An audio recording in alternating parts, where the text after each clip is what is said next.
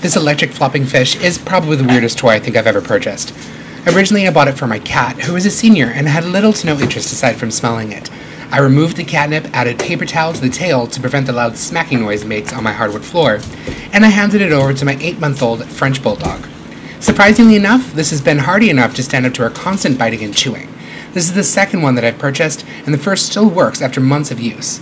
The flopping around gets my dog super hyped, so make sure you don't give it to yours unless you're prepared for a very hyper puppy.